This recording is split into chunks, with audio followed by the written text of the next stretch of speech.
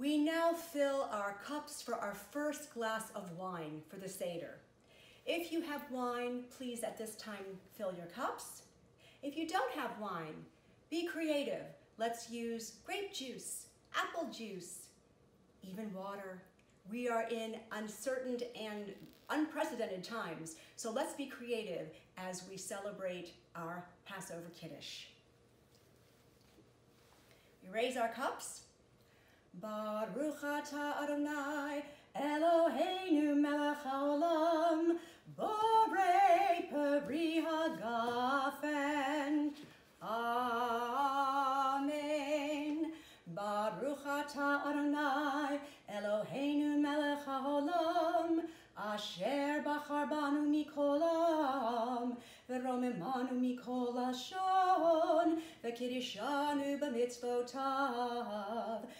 ותיתן לנו אדוני אלוהינו באהבה, מועדים לשמחה, חגים וזמנים לששון. את יום חג המצות הזה, זמן חירותנו, מקרא קודש, זכר ליציאת מצרים.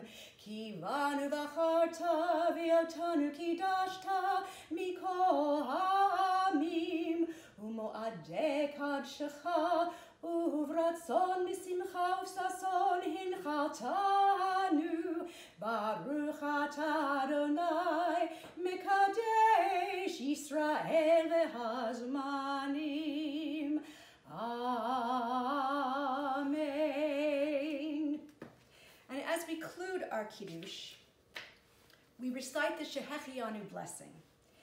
In the midst of the spir spiraling death count that we have experienced over these past weeks, this is the time to thank God for the gift of life.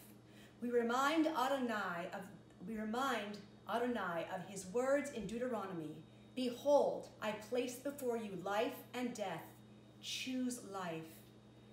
By our self-quarantine, by our social distancing, we are choosing life and we implore God to help us live through this plague. Baruch atah Adonai Eloheinu melech haolam Shehechianu v'kiyamanu v'higianu lazman hazeh